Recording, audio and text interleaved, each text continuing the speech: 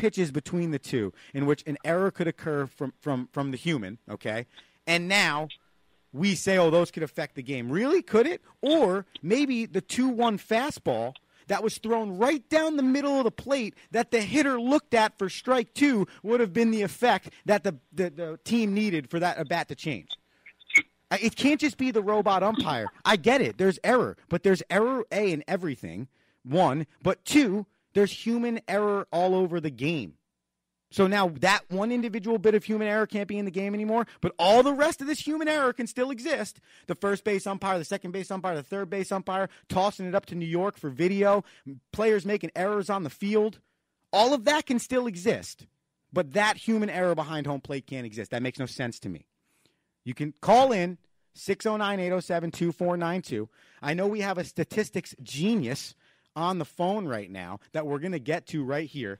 Um, so we can continue the baseball conversation on the back end of our, conversa- of our conversation with Mr. Jim Mazur. But I want to know your opinion on that. Uh, so get me on the socials, get me on the Facebook, do whatever you need to do. But I just don't believe automated umpires is the answer yet.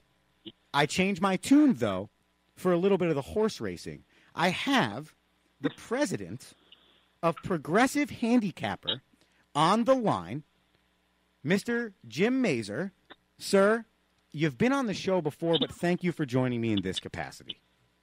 Hey, glad to be here, Andrew. Um, you know, your topic is awesome because uh, the one thing that we've seen this year from horse racing, for the one of the first times we had a major controversy in the Kentucky Derby, where a horse was disqualified, and it was all human, and there's no robots, and um, a lot of people weren't happy with it. So uh, it's an interesting discussion when it gets to the uh, to the robots on, uh, on these professional teams and, and, the replays and all that kind of stuff. Good, good stuff. Are good you stuff. are you somebody that in the sport of horse racing feels like technology can be more pa- uh, apparent and, and, visible? Well, you know, horse racing is in the in the uh, throes of uh, of a technology revolution, but it's more from the the wagering standpoint and the um, and, and the uh, dissemination of information.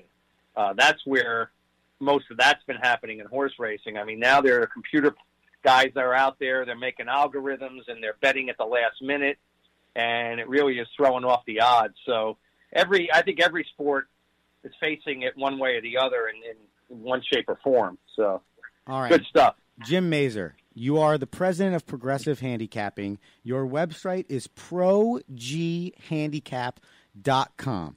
Before we dive even deeper into this, can you explain to the Romo Sapiens what exactly you do at Progressive Handicapping? You know, I've been trying to figure that out for 20 years.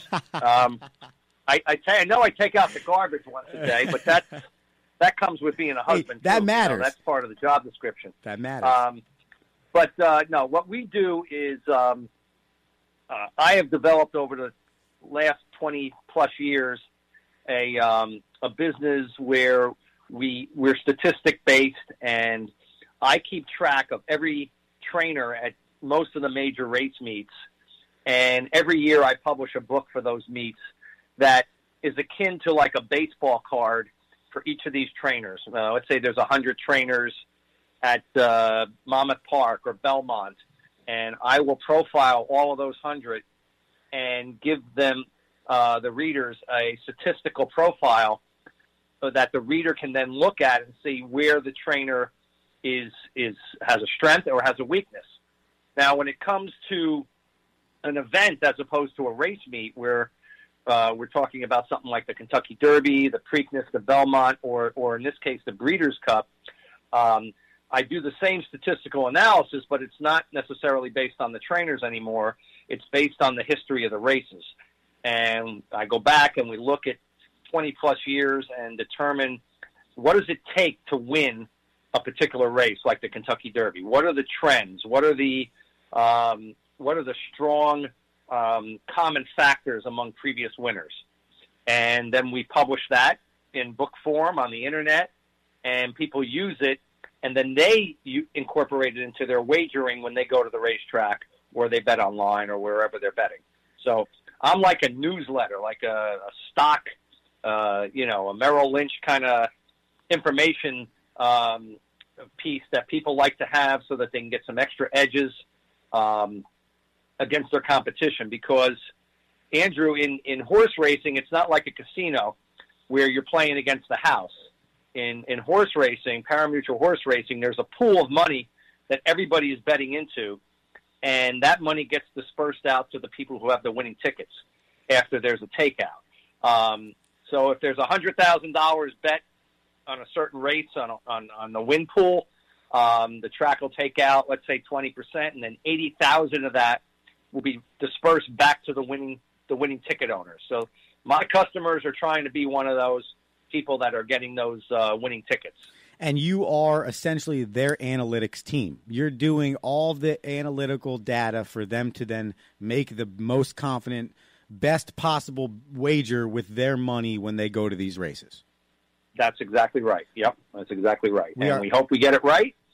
But um, everybody knows that, uh, and and most of my customers are not professionals. They they might play every day, but they're, they they have another day job, and they understand that what we're doing has a, an element of chance and uh, randomness, and um, they're doing it for the enjoyment of playing, and hopefully, like I said, that they're going to have more winning days than losing days, and have some meaningful cashes during the year. We are talking to the president of Progressive Handicapping. That's proghandicap.com, Mr. Jim Mazur. Jim, you say that there's randomness, right, to this. You could run all the statistical analysis that you want. You could figure out every trend, every nook and cranny that could help your uh, followers gain an edge when they're putting their money down. But at the end of the day, right, you can't always be right. So my guess is over the course of time, You've been more right than not, and you've created a method in which has been successful for you. Can you talk about how you kind of handicap horses or what your method is in finding the statistics, and then how you've maybe developed that method or changed it over time? Sure. Uh, I mean, it depends on what we're talking about. If we're talking about uh, the trainers and the race meets, that is all driven by um, data and, and uh, programming that I've done over the years, and we get a, a feed of information in raw form, and then we we turn it into um, you know the finished product. Um, with the um, events like the Kentucky Derby and everything, basically I just update a database every year for the the current winners, uh, and it's not that difficult because there's only one Kentucky Derby winner, so I'm just adding that horse on to the last 20 or so years, and then lopping off some of the earlier ones so that we can keep it as uh, as fresh as possible. Um, do I use the information myself? Of course. Um, however, I am not an everyday player, um, but I find in uh, big races like the Kentucky Derby and uh, the Breeders' Cup that it, it helps to come into the race having a certain um, statistical profile of what it takes to win the race. And let, let me give you an example. Um, there are 14 different races on the Breeders' Cup uh, weekend. There are five races for two-year-olds that'll be run on Friday, and this is going to take place at Santa Anita this Friday, uh, November 1st. And then on the Saturday, the day following, there'll be nine more races, and they're all in different categories. So in the um, Friday uh, races, there are races on the grass just for two-year-old guys and two-year-old girls, two different races. And you would think that they would play out the same Hmm. way. That the only difference is the uh, is the gender of the horse, but they're two different, totally different uh, histories of the race. Wow. In the juvenile uh, turf, the Europeans ship over here, and they win almost every single year. So you would think that they would have an edge in the uh, with the fillies, with the with the female, um, and yet they don't win. Um, the Americans win, and uh, they come out of a certain one or two races, and it's you know we just wait for that pattern to be broken, and we just keep going with it until until it's a trend that it's not that way anymore, and then we look for the reason why. Wow. So- Wow. So But but go. I have gotten in front of audiences oh, and said this. tell me. Tell me. Here's here's a trainer who was 0 for 65 in stakes races, and then that afternoon he wins two. Wow.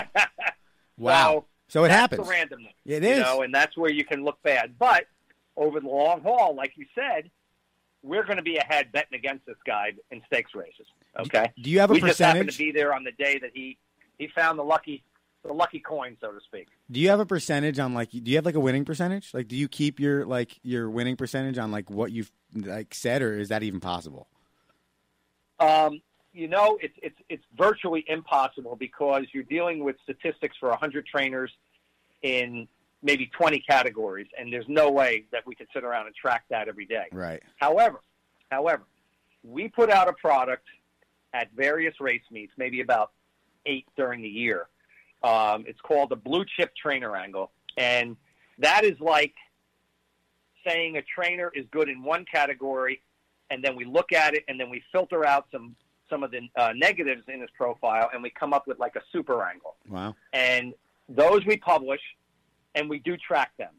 And I would say the win percentage for those, just betting them on the blind, which is not what you want to do, but people will just blindly look at it. They won't even look at the horse. They'll just say, this is an angle. It's worked 30, 40% in the past. We're just going to play it.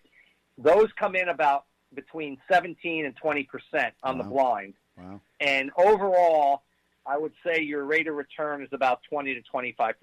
Yeah, wow. So to put that in perspective, if you had bet thousand dollars into all of those, you would have taken home twelve hundred and fifty dollars for a two hundred and fifty dollar profit, All right. and that's 25 percent better than putting it in the uh, the old CD at uh, three percent. Uh, So I could see a lot of people taking that and and and loving those odds. All right, we're talking to Jim Mazur, president of Progressive Handicapping. I'll give you the website again. It's proghandicap.com. And part of the main reason why we got Jim on the show today was to talk about the Breeders' Cup this upcoming weekend. So, Jim, okay, uh, I want to. You can tell me anything you want about the Breeders' Cup. I am a novice. Uh, horse racing um, better, you could say. Let's put it that way. All right? Uh-huh. It is, it is Right. the only sport in the NCAA that I, or since I am an employee of the NCAA that I'm allowed to bet on because it's not an NCAA sport. So I would love to take your advice today on the Breeders' Cup, and I'd love to put some of my bananas towards it so we can come back next week on, on Monday for the Rome Show listeners and let them know how we did. Okay, so I will be in your uh, knowledge of the Breeders' Cup, writing down some notes as well, and putting some of we'll put it we'll call it the Rome Show money. We'll put some of the Rome Show money on your picks today. How's that sound? All right, so okay, so go ahead. there's 14 yeah there's 14 races and i think the one that um, most of the um, novices or people perhaps in your um, Area. stage of the game There that don't go. know too much about it it's like they don't really pay any attention to anything during the year but they will get interested in the kentucky derby that's something that's commonplace Sure. well, the one race in the on the 14 race menu is saved for the last race of the whole thing, and it's called the Breeders' Cup Classic. It has a six million dollar purse, Wow. so that means the horse that wins is going to get 60 percent of that purse. So they're going to win 3.6 million dollars. Wow. The trainer will take away 10 percent of that for 360,000, and so will the jockey. So it is a huge, huge payday. And the way it's structured on these big racing days is, it, uh, you know, you can bet horses just to win. You can bet them to place, but a lot of the people who are in this are looking for a bigger, bigger payoff. And there are wagers called the pick six, where you have to pick the winner of six races in a row on the Breeders' Cup card. Wow. So you wouldn't normally take one horse in each race. That would be almost impossible. That's like lotto, you know.